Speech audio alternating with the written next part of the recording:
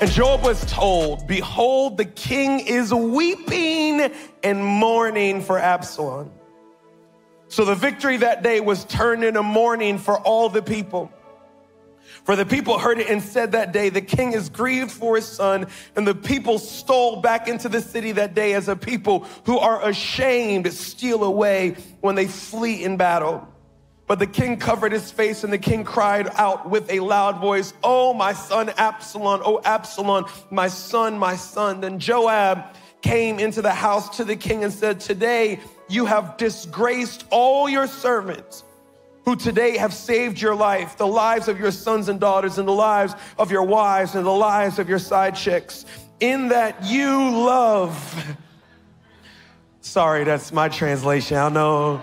I know what y'all reading out of. Mine side chicks. Oh, I'm sorry, concubines. Anyway, it's in that in that you love your enemies and hate your friends, for you have declared today that you regard neither princes nor servants. For today I perceive that if Absalom had lived and all of us had died today, then it would have pleased you well.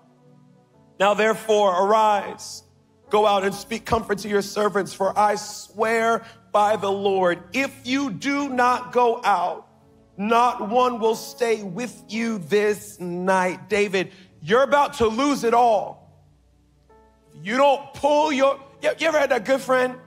Some of y'all don't got friends like that. That's why you need to get a connect group because you need a real friend, not a friend trying to You need a friend that'll snatch you up. You ever had a friend snatch you up sometime? Like, if you don't pull yourself together,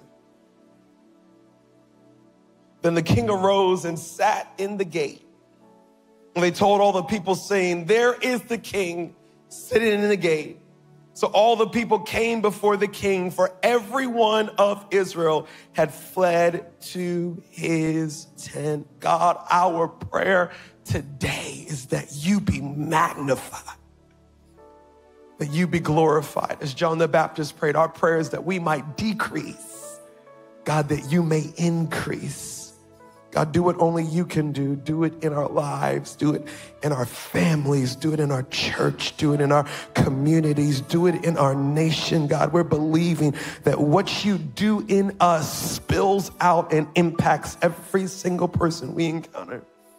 And Father God, we will be ever so careful to give you all the glory, all the honor, and all the praise in the matchless name of Jesus, we pray. Come on, somebody shout, Amen and amen and amen.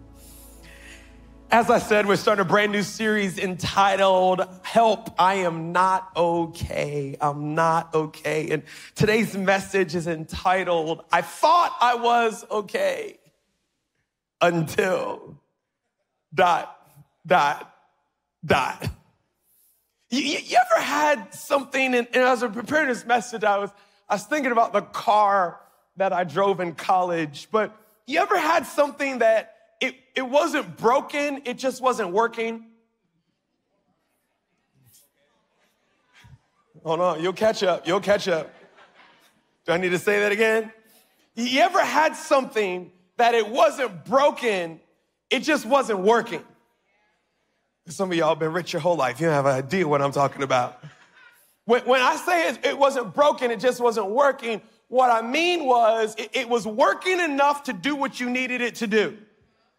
It's just not all the features quite worked properly. I had this car uh, back in college. I was so proud of this car. It was a Lexus LS 400, 1992, illegal tint, chrome rims, 13 inch sub in the trunk. Y'all, I rode up freshman year at Maryland like, ah, you could tell me nothing. And I, I, I worked kind of driving. I was a courier for my dad's company. So I'd get out of class every day and I'd drive all the way up to Annapolis and all over kind of that, that uh, what, what would that be? Western Maryland kind of area. And uh, after a while, I noticed that there was just like this loud, like creaking sound every time I turned the steering wheel. So I went to the mechanic, and the mechanic was like, Look, you've got a, a leak in your steering column. We got to re- fix the leak in your steering column because all the steering fluid keeps leaking out. I said, How much is it to fix the leak? I don't remember exactly, but it was more than I had. like two grand or something like that. I said, will the car break down?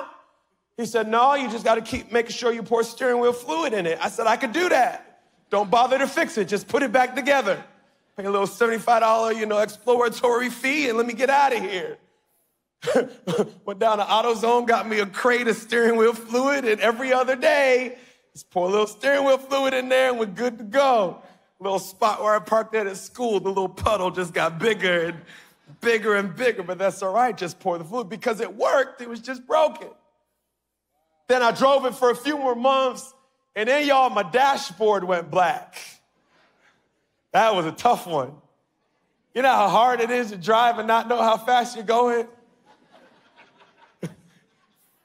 you know how, how much, I'm about to say how scary, but how much faith you need to not know how much gas you have? Do I stop? Do I go? When the same mechanic, how much is it to put a new dash in? Joker said something like four grand. I said, no. what got me one of them Garmin GPSs? You know, the one that tells you how fast you're going in the little corner? I said, that's my speed. If I put gas in every 48 hours, I should be good. One day I was at work and I was taking a break, eating lunch or whatever. So I, I reclined my seat back to take a quick nap It was like one of those, you know, those motorized seats. As I was going back, I heard a pop.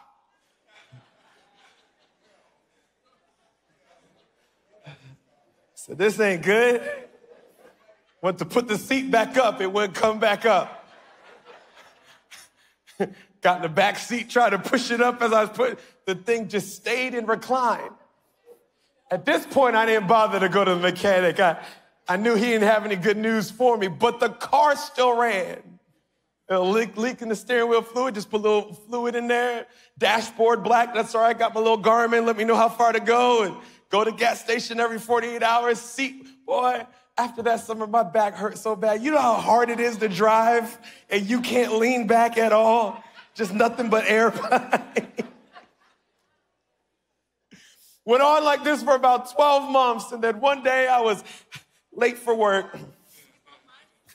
12, listen, y'all, it was college, y'all. I never got no $2,000 fix no car. I gotta get some books.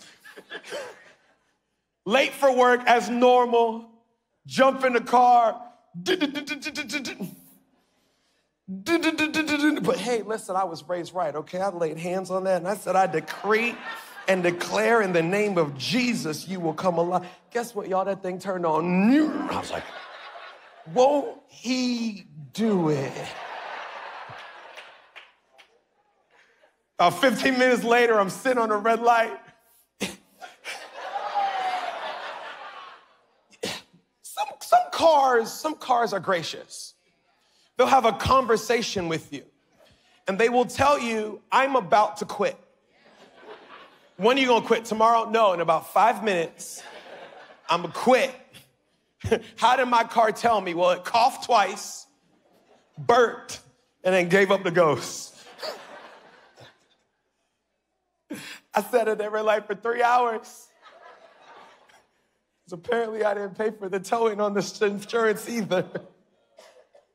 You know, sometimes life can give you warnings.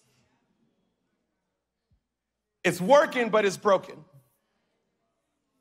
And because we're kind of moving and shaking and running, we can say, oh, I just got to put a little steering wheel fluid in it. That's okay. I'll fix it later. Oh, I, yeah, but can I still get from point A to point B? And if so, I'll deal with it later. And a lot of us, like me, it's not until life leaves us on the side of the road stranded. They were like, man, I probably should address that.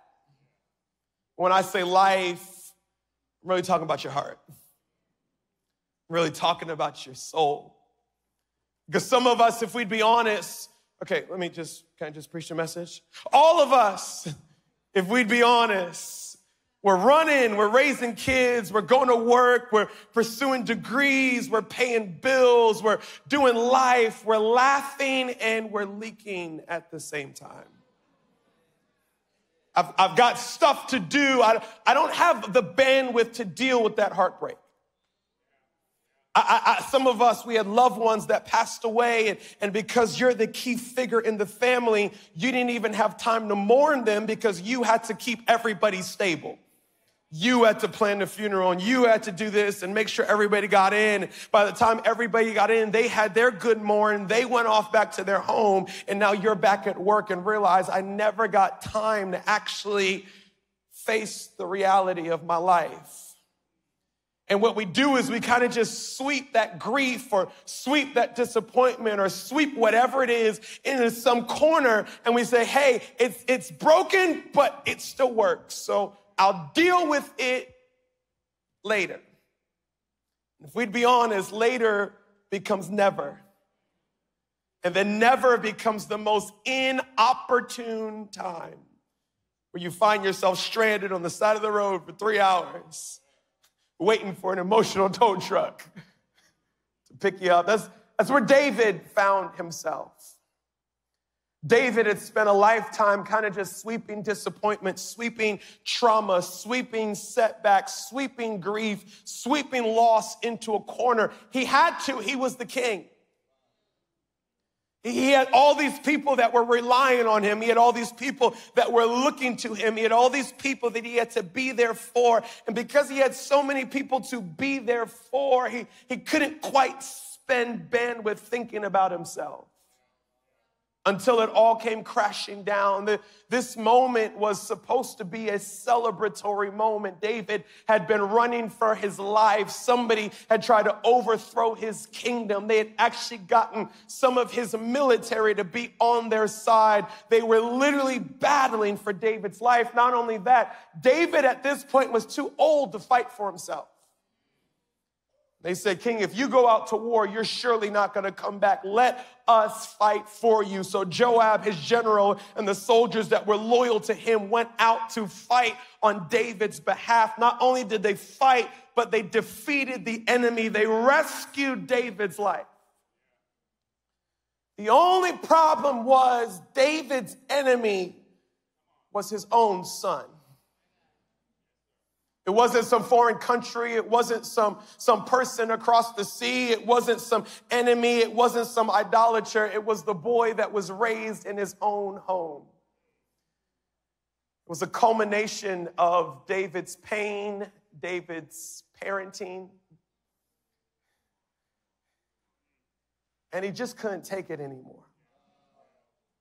The Bible says that as the troops came back, and, and you, you, you've watched enough television. I know television ain't real and television ain't Bible, but you've got enough imagination to know back in the day when they used to fight with swords and shields, that when they would come back victorious, there would be a parade back into the city of we went out and we came back not on our shields, but we came back victorious. And the the king did not go, then the king would be at the gate to welcome all the warriors that had risked their life to save that city. And as the soldiers came marching back in, whispers began to go because they began to say, Hey, where's David? He's supposed to be here saying, good job. He's supposed to be here saying, what a victory. He's supposed to be here saying, man, you guys did it. And he was missing in action. Here's what happens. I can only sweep trauma and grief and disappointment in the corner enough. And then at some point, I will be missing in action. I know I'm not okay when there's times to celebrate and I don't feel like celebrating. I know I'm not okay. Uh oh, I'm gonna get in trouble. Thanksgiving's coming, y'all. It's time to be with family. Miss me. Let's spend Thanksgiving away this year. I know there's something going on on the inside. When it's time to celebrate, it's time to, to be present. And as hard as I try, there's not much in me to present. Over the next four weeks, if it's okay with you, and it is okay with you because I'm not asking permission, we're gonna dig in some corners. Is that okay?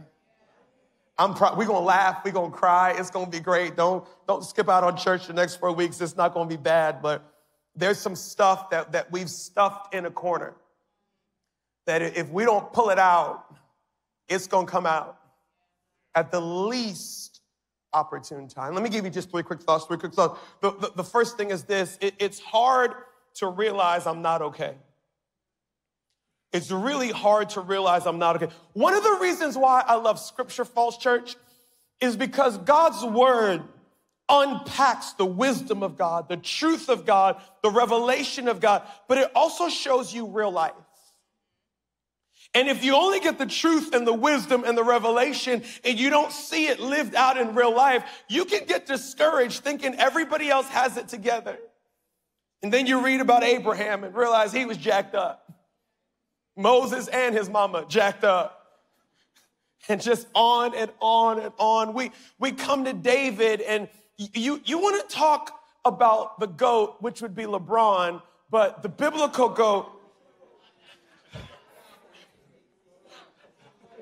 Let me build my case since I have the microphone and you don't. Y'all might say Jordan was the GOAT. Nobody knew Jordan until college.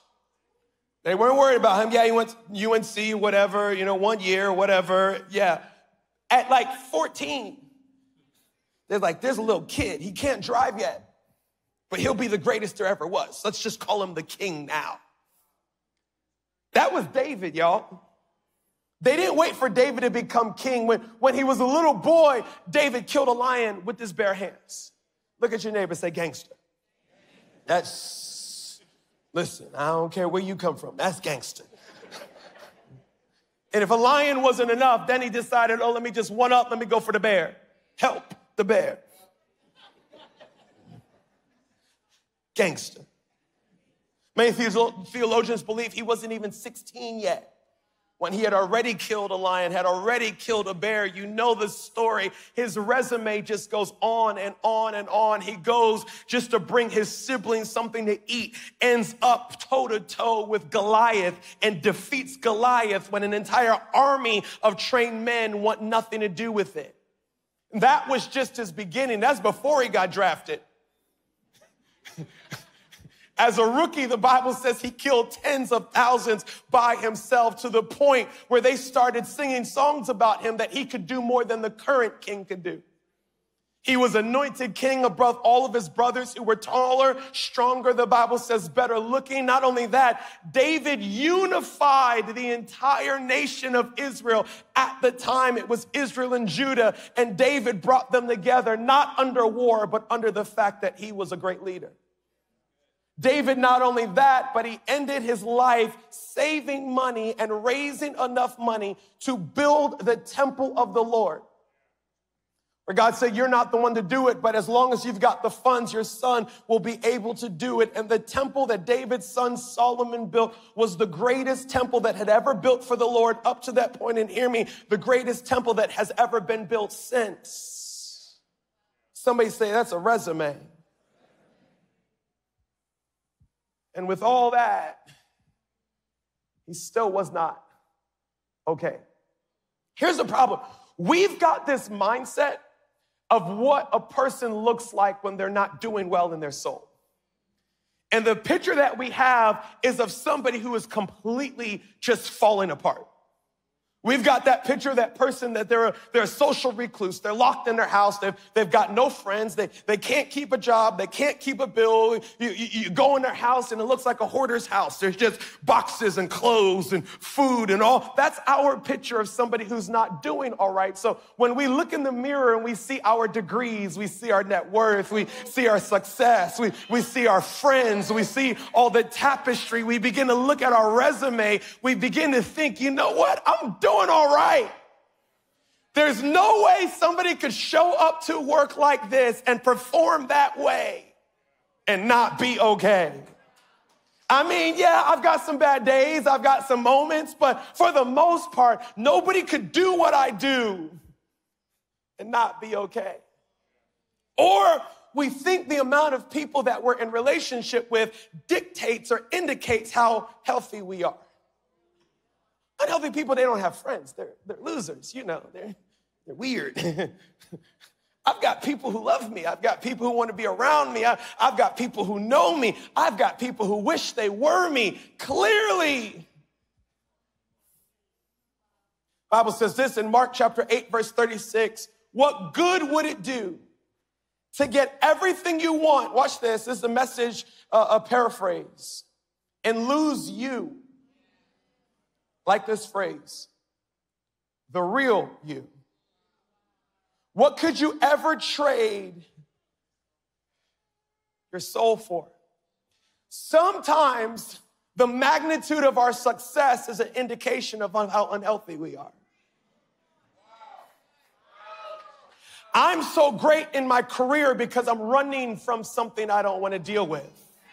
So when I don't want to have those thoughts, I just work. And when I don't want to deal with that, I just work. And when I don't want to have to worry about that, I just work. And guess what happens when you work? You move forward, you progress, you, you have success, people pay you, you get progress, and you begin to think that that progress is an indication of I'm okay, when really that progress is an indication that there's something I'm running from and I don't want to deal with it. We've got this mindset that as long as I've got people in my life and I'm able to relate and connect and all that other good stuff, that that's an indication that I'm okay, I'm healthy because who would want to be in relationship with somebody who's unhealthy? So I'm here for this friend, I'm here for that friend, I'm here for that family member, I'm here for this family member. What in reality, what I'm doing is I'm ignoring my own heart for the sake of everybody else's. And if I spend all my energy fixing other people's problems, I won't actually have to acknowledge that I'm not okay. And we spend so much energy fooling everybody else. And I'm not talking at you, I'm talking with you. Hear me. We end up fooling ourselves. We don't realize there's something going on here. How do I know when I'm not okay? When I'm supposed to show up at one way in one situation and I'm missing in action. Hey, David, it's time to celebrate. He's curled up in the fetal position, mourning a son that tried to kill him, but he probably blames himself for. Some indications of how do I know that I'm not okay? When I self sabotage. Sometimes the self sabotage is in relationships. It does not matter who I date when I date. It doesn't matter who the friend is, who the neighbor is, who the coworker is. Just, I know me. Give me 12 months and I will say something. I will do something that, and, and what we do is the first three or four people, we say it's them. Come on now. Well, they just couldn't deal with my success. They, they, didn't, they didn't like that I keep it 100. I just, you know, some people just don't like to keep it 100. No, bro, you were 250. That was not. One person might have been their fault. Three people, all right, they were soft. Four, five, six, seven.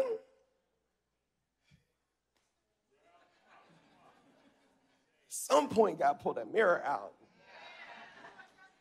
Come on now. How do I know something's not okay when I self sabotage my destiny? I'm, I'm running after this career or this calling or this ministry or whatever it may be. And I get 18 months down the road and somehow every single time I do something that starts me over.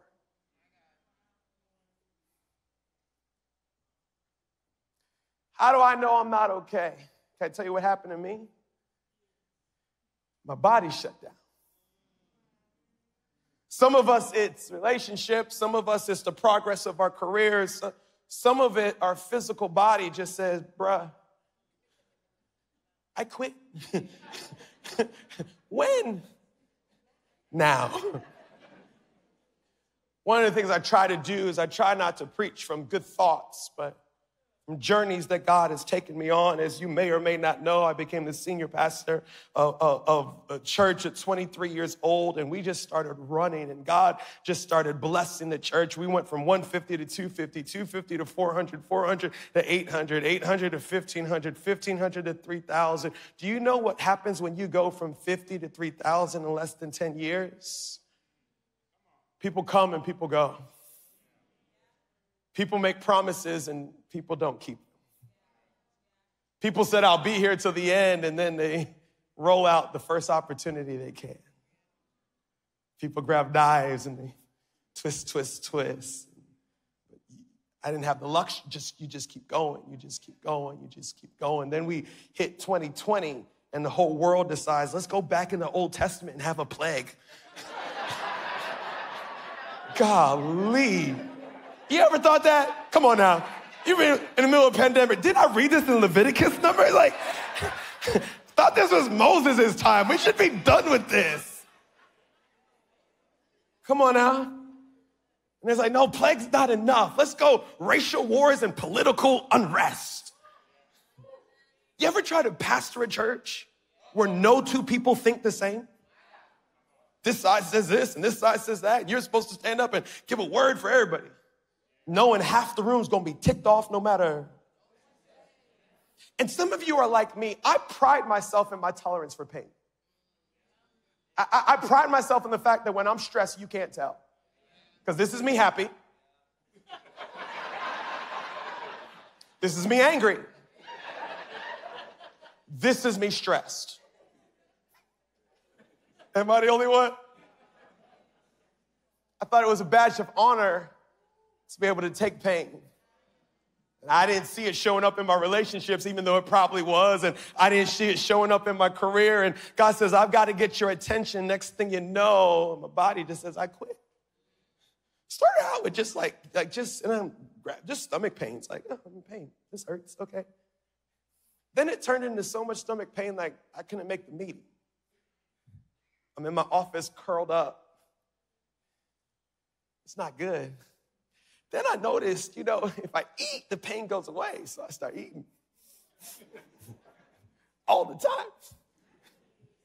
And after a few months, that didn't make the pain go away. And then I realized if I take some, you know, antacid, some Tums or whatever, maybe that works. And that, I, come, I did my body the same way I do my car. It broke, but it's still working, so let's go. Then after a while, the, the antacid didn't work, and you know, I'm, I'm real smart. That's why y'all let me be the pastor. I said, hey, maybe I should go to the doctor. go to the doctor, they tell the 30, what was that back then? 33? You got ulcers. What?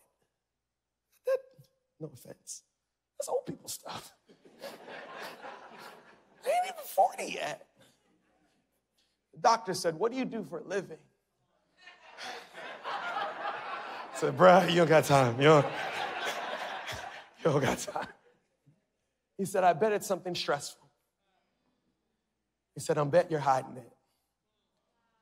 Because this that you're experiencing is stress. It's going to show up some way.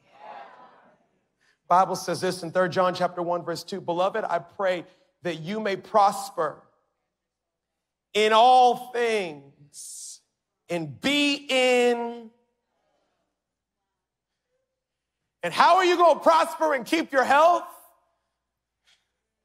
when your heart's okay and if your heart's okay, you can't sweep it in the corner forever. At some point, you're going to end up on the side of the road waiting for a tow truck. Say, man, I should have dealt with that. Second thing is this write this down. Ignored health always steals. Ignored health always. We, we, we kind of do what I did. We just kicked the can down the field. I'm in pain, but it's not that much pain. We'll be all right. As long as I eat before nine, I'm good. Hey, if I could grab. The next thing you know, every night you're taking a sleep aid. Every night you're doing this, or you're just to kind of kick the can down the field, not realizing that whether it's your relationships, whether it's your career, or whether it's your physical body, it's literally, it's like the fire detector going off in your soul. Hey, there's smoke. You might want to check. And it's not just that you burnt the bacon. Go check this out. We know David's resume of success what a lot of people don't know is that a resume of success, he also had a resume of trauma. Because, yeah, he was a prodigy from young that killed a lion and a bear, but he was also a little boy that no matter what he did, his father was not impressed. From young, his dad said, Nope, nope, nope, nope, nope. I've got other sons that I think can do better than you. I'm not really interested in what God has for the future of your life. And in spite of his father not seeing who he was, God was still able to promote him. And God actually promoted him right into the king's palace. And here is David, anointed by God, spending time in God's presence, but still looking for somebody of a father figure to acknowledge him. And for a season, that father figure in King Saul acknowledged him until David turned out to be more anointed than his mentor. And as soon as that happened, his mentor turned into his tormentor, and the one that he looked to acknowledge him was now throwing spears at him. But I'm called, I'm gifted, I'm anointed. I don't have time to deal with this, so I keep on marching forward. There was one man that did acknowledge David and saw what God had called David to do. It was actually his, you, you could say it was his pastor. Samuel, the prophet, was called by God, anointed David, saying, God has called you to be the king of Israel. God's gonna do great things through your life. Finally, somebody saw and acknowledged David. And then the one person who valued David died before anything they said over David's life could come to pass.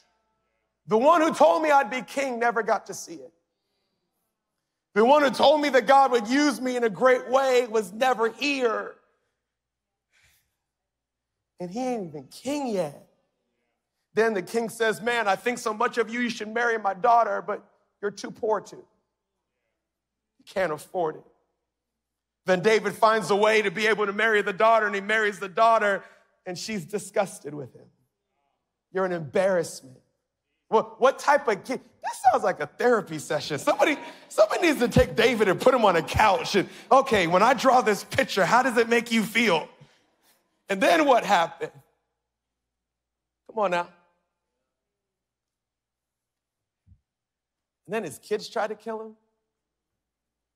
The soldiers turn on him, and he just keeps trucking and trucking and trucking, kicking the can down the field, kicking the can down the field until this one day in 2 Samuel 19, David's soul says, I can't take it anymore.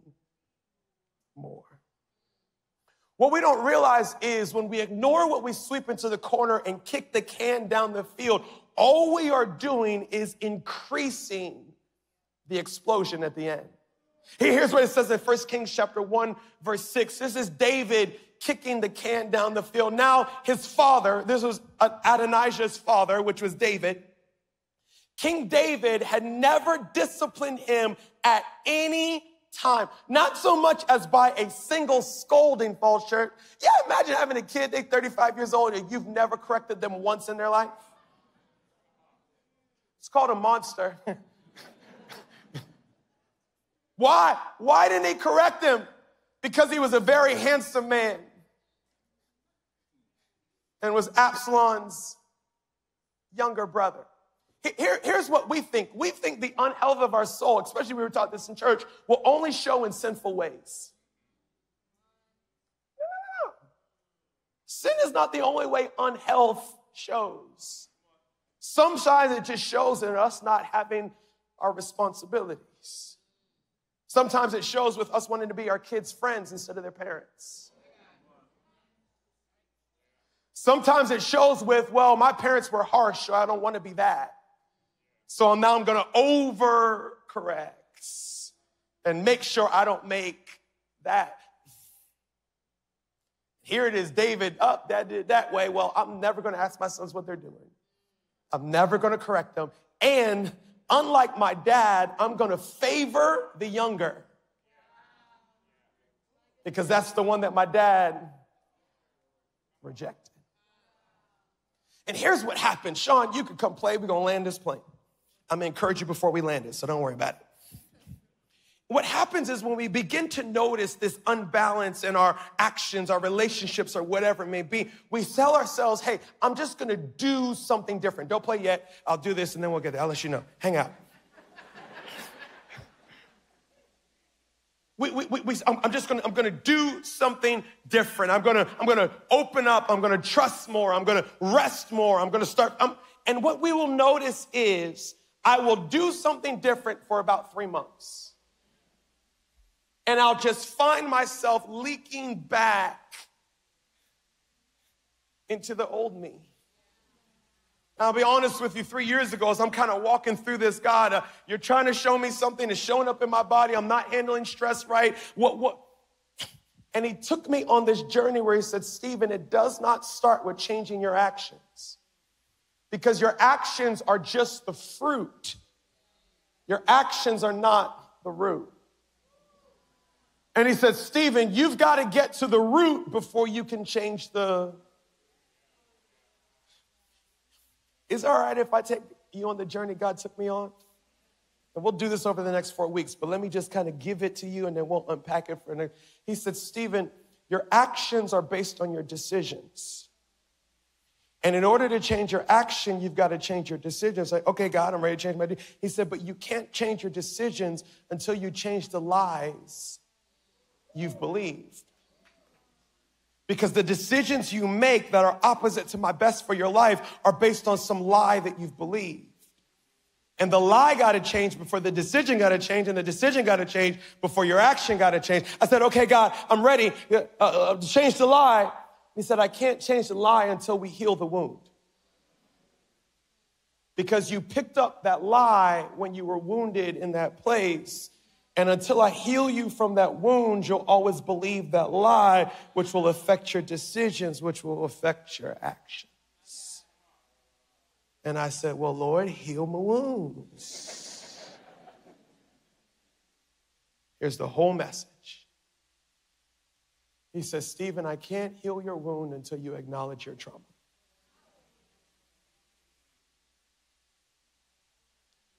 Because until you acknowledge that hurt. Do you know how hard it is just to say, that hurt? Especially if the person that hurt you wasn't intentional. They were doing the best that they could. Maybe a loved one passed away. It was completely out of their control. And because it was out of their control, I can't blame them. Can't blame God. I've got too much faith for that.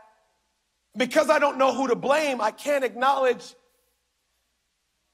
that hurt. Hurt, hurt, it hurt. My mama wasn't there when I got married. It,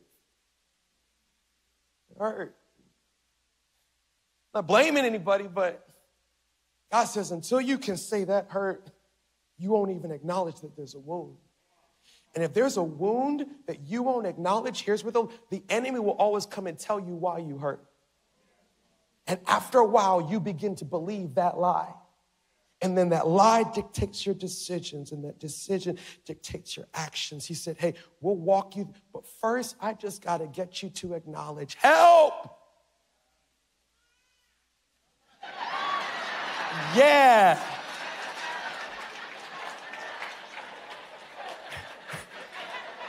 Go to Union Kids. All right.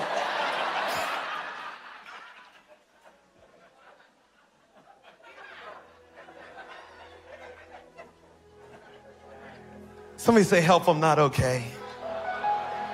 Come on, can you say that like three times? Somebody say, Help, I'm not okay. Come on, two more times. Somebody say, Help, I'm not okay. One more time. Come on, somebody say, Help, I'm not okay. You know what happens when you realize you're not okay? You realize I'm human, I ain't Superman. I'm not God. I'm not made of Teflon. I'm made of flesh and bones. I'm made of skin and blood. I, I, I, get nicked up sometimes. I get hurt sometimes. I got setback sometimes. I get overwhelmed sometimes. I, I, I, I, I break down sometimes, okay? It doesn't mean I'm not strong. It just means I'm human.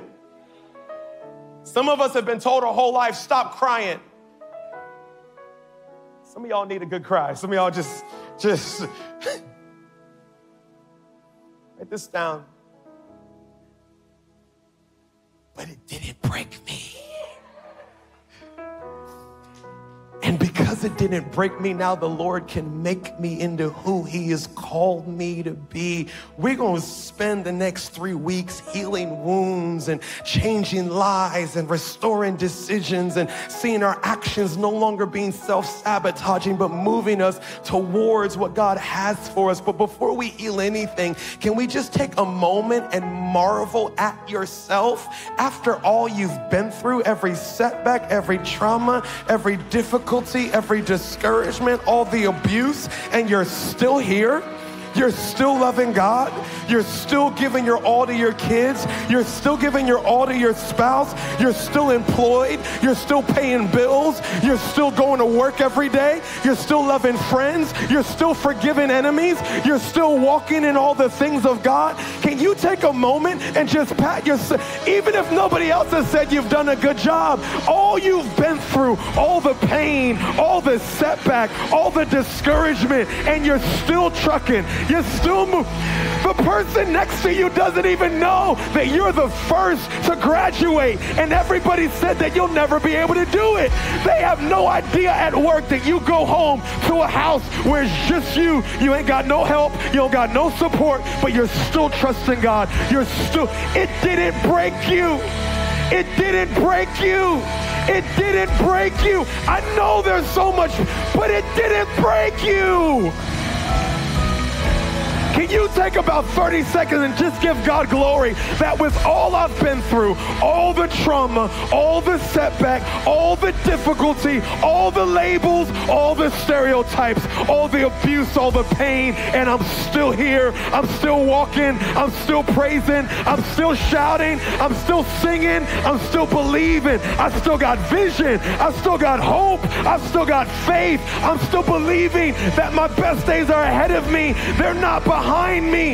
It didn't break me. It didn't break me. And some of us don't want to acknowledge that we've been through some stuff because we feel like it's an indication of our weakness. And if you would just look at all you've been through, but yet all you've accomplished, that's not an indication of weakness. You're a walking miracle.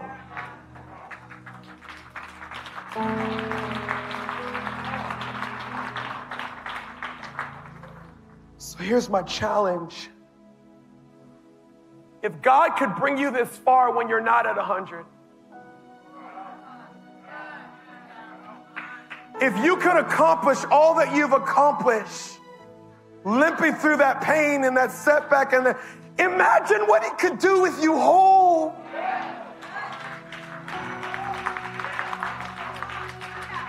Imagine what he could do if you didn't need the three days to check out.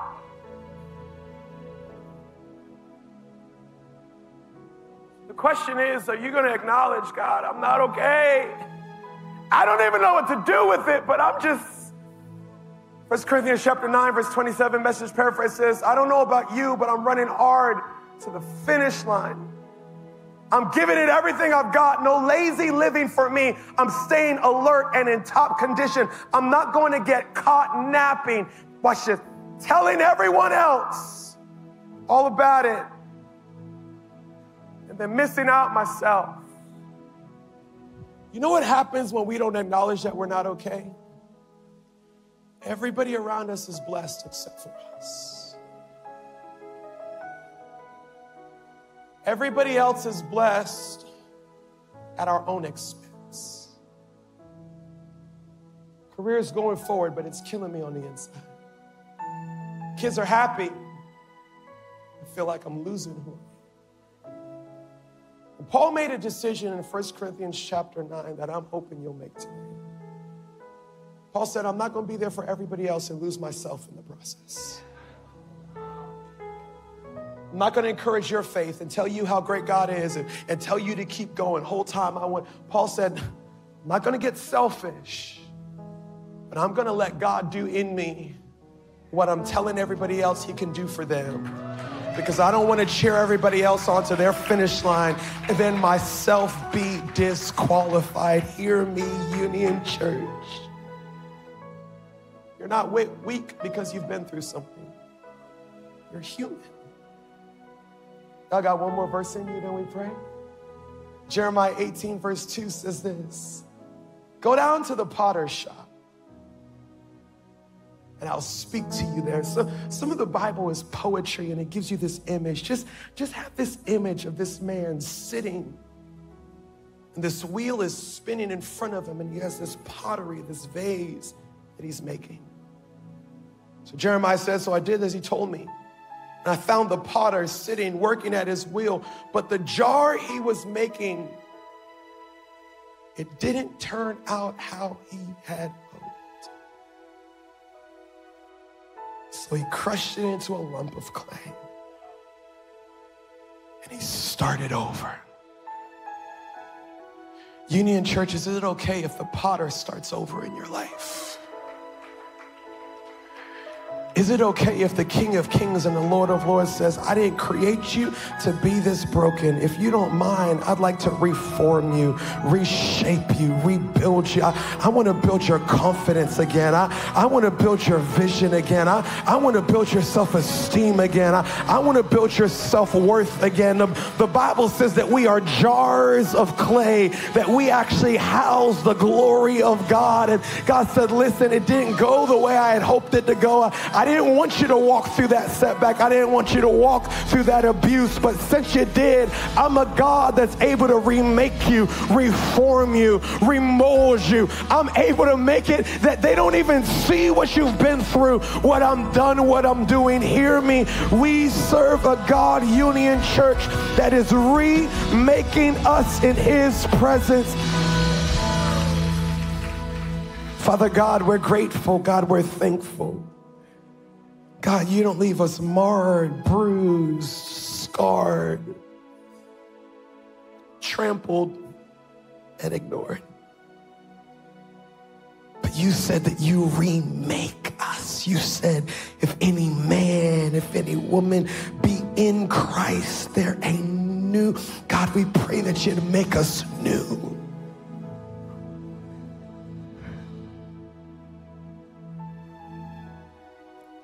But it starts with us saying, God, help. God, help. We're not okay. God, we need you to do what only you can do in our lives. Right where you are with your eyes closed and your head bowed, if you could pray this prayer with me, say, Holy Spirit, what are you saying to me? And in a moment, just let the Holy Spirit speak to you.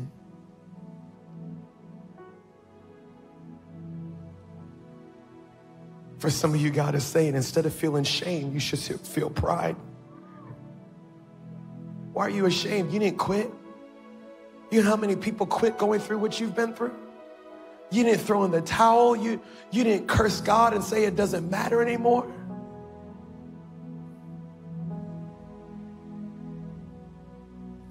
For some of you, hear me, the Bible says that God is standing at the door of your heart and He's knocking. And he's just waiting for you to let him in. Maybe you're like me and you grew up in church and you know church, you know when to stand, when to sit, when to shout. But if you'd be honest, you never let God into your heart. Or maybe you're new to an atmosphere like this and you didn't even know that God wants to be a part of your life. Well, He wants to, and hear me, it starts with you acknowledging God, I need you. Wherever you find yourself, you say, I need God in my life. Can you pray this prayer? It's this simple. Say, God, I need you. I can't do this by myself. Thank you for dying on the cross so that all of my sin, all of my mistakes, all of my pain can be erased. In this moment, I surrender. I give you all of me. Be my Lord, be my Savior, and use me for your glory. In Jesus' name, amen and amen and amen. Come on, can you celebrate for every single person?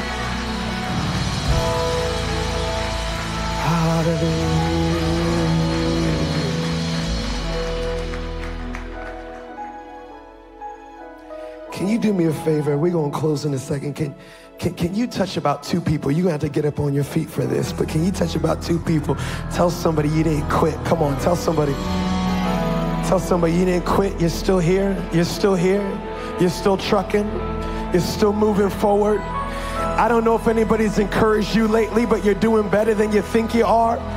You're doing better than you think you are based on what you've walked through, based on what you've experienced. Your, your shoes shouldn't be in your right mind. You, you shouldn't still have hope, but you do. And if he brought you this far, he did not bring you this far to leave you. Your best days are ahead of you, they're not behind you. You will see the goodness of the Lord on this side of eternity. If you believe it, somebody shout, Amen. Hallelujah.